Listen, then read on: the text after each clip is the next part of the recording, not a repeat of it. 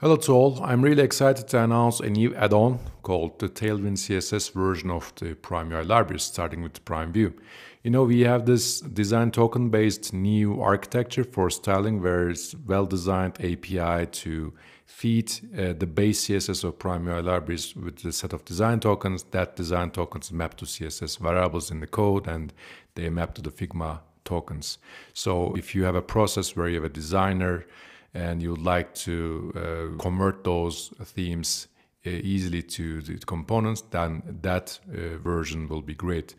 And in case you don't want to maintain a lot of things on your side, then the default styled mode will be great. But if you prefer to do a lot of customization and you're not, you don't want to uh, get limited by an API, although the our styling uh, allows extending the css and introducing new tokens of your you know custom design but uh, we would like to offer a custom way where there's no api no css overrides nothing and you know tailwind is popular and we would like to offer a way where you are able to style everything with tailwind components as well. So, you know, you can use Tailwind with Prime UI libraries for layout purposes, for many things. But what if you, you can just style components with Tailwind as well? So we tried that with pass-through attributes in, uh, in PrimeVue. It worked for quite some time, but in the end, we thought we can do better because it had some limitations. Uh, it was not very convenient. You had to learn a lot of things, uh, the sections of the internal internals of the components, and there were so many combinations the, the cross uh, usage of the you know components within the, within the components nested components composite components. There was no IntelliSense support uh, so many things. So we decided to redo it. We had a couple of options like going headless. So but it was a rewrite. We have to rewrite everything. So we had to provide every component in a headless form.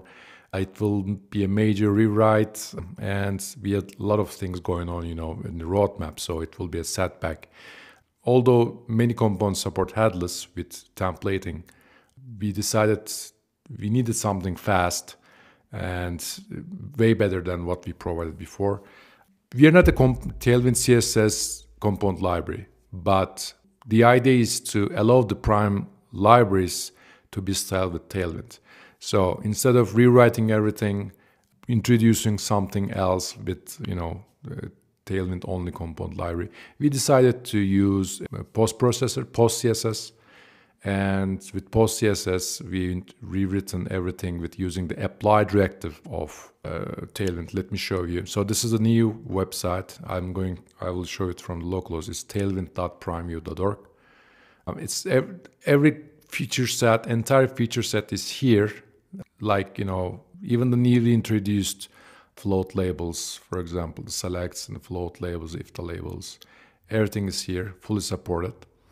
And you know the dark modes and the colors and everything is, are here as well.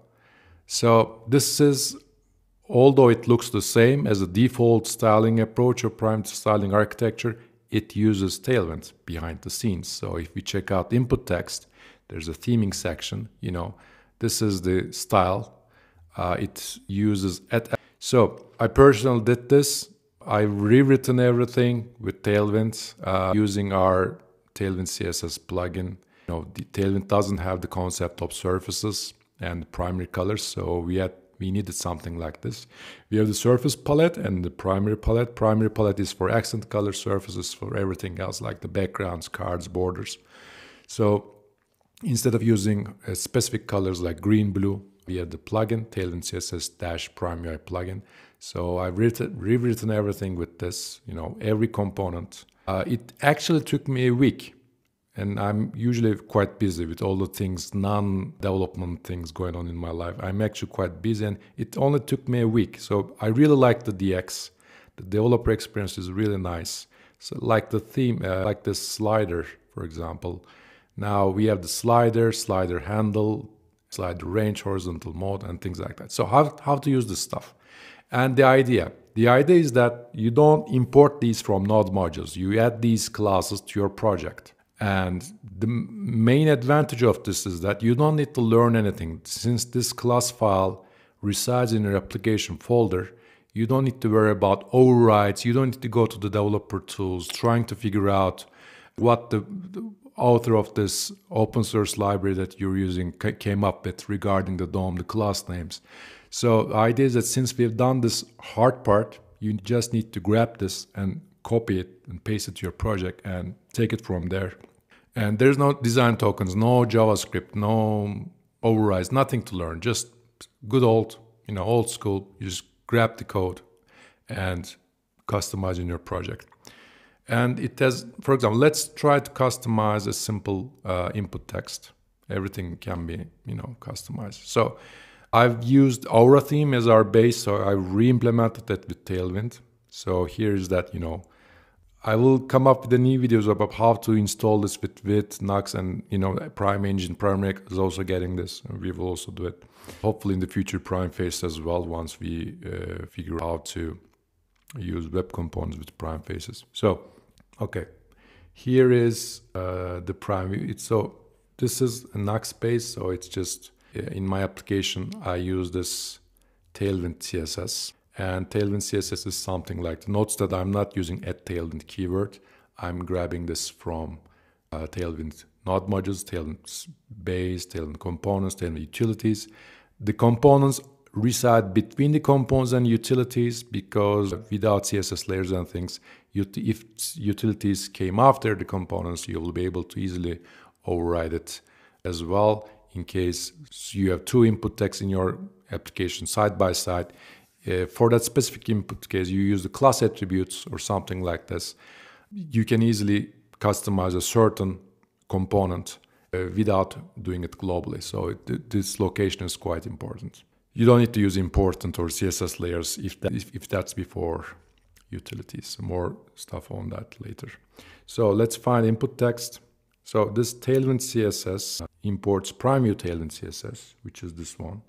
I mean, you can rename everything. So the idea is that this folder, you just copy, grab it from GitHub. It's now on a release. You download the zip. Again, video about setting it up later. But you download the zip, you put it somewhere in your project, you include it in your app view, app.js, app component, TS, something. Um, so once it is in your application, of course, you need to comment or remove the components that you don't use there's no automatic tree shaking here like the default modes. It's all full control. You can just choose what you want to choose, what you want to use so that you can watch your bundle size, although these CSS are not really joint files. So let's go to the input text. Now here, this is the one. One nice thing about is that let's add some padding. Let's make it bigger. Now these are bigger, right? Now you can see it instantly. So I would like to add a thicker border, two pixels border. And let's say we have the shadows and hover border is border. So let's make it a bit more accessible, maybe more thicker. So it's just, it's there. And hover border surface 400, let's make it primary. So when I hover it, it gets my own color uh, of course, and focus somewhere, focus visible, focus border primary. Okay, now we have customized the borders and everything. And let's see, we have increased the padding. We have the LG version and the smaller version are available here. So one nice thing about is that if you do a mistake like border primary, if you get two Ys, then you will get another. In, in the previous case, if you check, if you compare it with the PT version, let me find it. So this is the PT version here. So the main difference is that in the PT version, passive version, you inject these Tailwind classes into DOM elements of the input. So in, the, in this case, the root gets leading none, flex one, blah, blah, blah.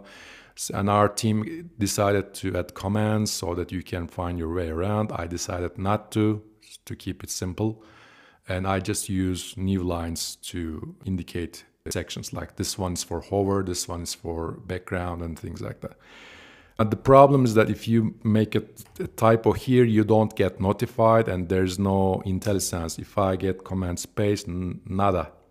So here, if I if I do it with the PT, without the PT, So if you hit command space, let's say BG, you get all the nice Tailwind stuff here. Even the R, you know, the Prime plugin, Prime UI plugin stuff like uh, or Primary. These are derived from the Tailwind CSS Prime UI plugin, and it's also nice that you get you know code compilation and error handling for you. So that's why I've easily managed to convert these classes. I took some, I took my coffee, just opened a nice music, and I just converted everything manually and it took me like a week to convert everything. So imagine that how you can customize it without any borders. By borders, not CSS borders, no no limitations because you are free on your own. What about any downsides of this approach? Since this is like a code ownership model, you this part resides is located in your application, so you have to maintain it. So if something changes drastically, like if the page, if the developers, the maintainers decided to make this like a dash. Okay, let's add. So we woke up in the morning and let's say, okay, we should add a dash to the CSS classes. And in that case, this will be broken. Luckily, I mean, we have done this part in PrimeVue 4, in PrimeNG 18, and PrimeAg 11. You know, these libraries are becoming very stable. We have our own roadmap now, like these advanced components that we would like to move on to. So there is no changes planned and if we add new features, these will be these class names and the PT names will be the same. Uh, we have done that part already, so we are not really expecting any change. For example, one thing missing is that input text has sizes, but select doesn't. There's no size option. Uh, but that's coming in, in the newer versions. But in that case, there will be a new CSS selector like pselect, sf, pselect, lg, and they will be documented. And those are opt-in features. So if you like to use those features, you need to uh, watch the change log and we will document every change. But again, other than that, uh, you know, if you go this route, you have, you're just you just have to maintain it yourself. But the power is that you don't you can do whatever you want with it.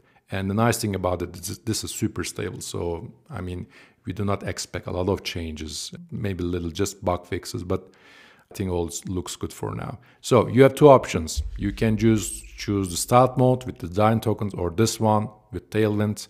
With this one, if you want to do a lot of customization, I, I should put a new video on how which one to choose, styled or unstyled. And also an important thing is that we just introduced something called theme none. So theme none disables the default theming, but unlike unstyled, there are no design tokens with the theme none and there are no default CSS, nothing. Only this p something classes are uh, located in the DOM so that these classes still apply. And final thing I'd like to show is that you can also use the Tailwind theme function and apply so that you can access these uh, in case you're there's no Tailwind class that that's available. You you like to you're trying to do a fancy animation you don't need to write a plugin for every missing class in Tailwind core. So that in, in that case, you can use regular CSS functions as well. And you have access to the Tailwind core with the theme function and apply.